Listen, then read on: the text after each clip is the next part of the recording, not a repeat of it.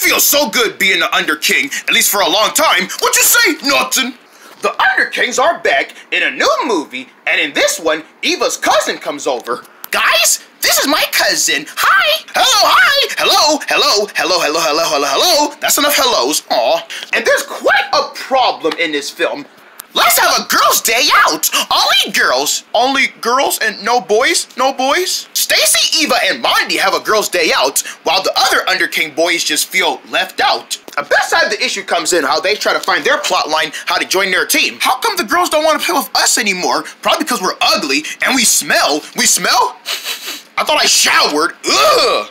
The animation went well as I was designing the characters, giving them their same looks, upper look, different different details on them. You know, separating their eyes a little bit, giving them their claws eyes to close together, but newer, brighter colors, as you thought of. Wow, just wow. But otherwise, The Undercins 2 is going to be a perfect family film, and the Undercin boys better watch out because trying to join their team is going to be a little bit hard. Bang! What? Did you guys hear someone banged the window?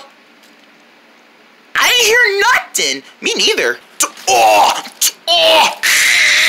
Oh! Only in theaters, February 20th, rated PG.